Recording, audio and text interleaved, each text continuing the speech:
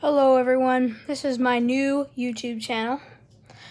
The other one I had to cancel because of some issues that happened.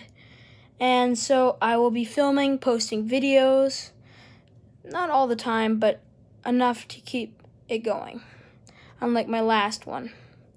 So I'll be posting more movies because I got a new iPhone that has way more storage, so I can make movies.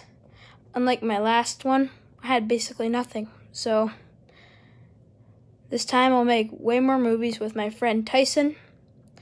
He was in the sumo one that I posted on Instagram. And yeah. You can follow me on Instagram at T-Rex Filmz. That is my Instagram account. And see you guys then. This is my first video.